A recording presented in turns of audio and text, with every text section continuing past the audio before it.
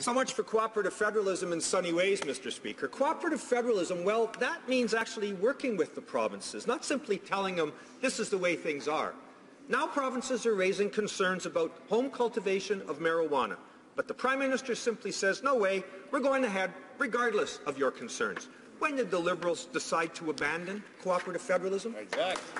Honourable Minister of Health. Mr. Speaker, the approach to cannabis does not work. It has allowed criminals and organized crime to profit while failing to keep cannabis out of the hands of youth. We respect the work that the Senate has been doing, and we look forward to reviewing the recommendations brought forward by the Social Committee. Our government is confident that Bill C-45 can be adopted later this June.